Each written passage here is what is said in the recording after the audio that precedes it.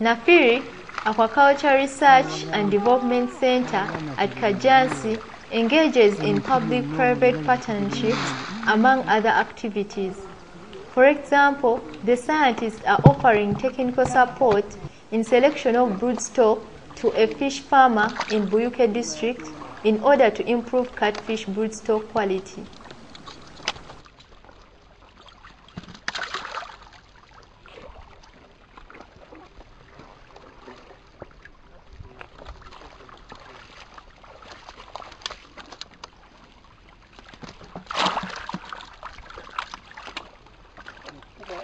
mwana wange wama okusenga obugenderera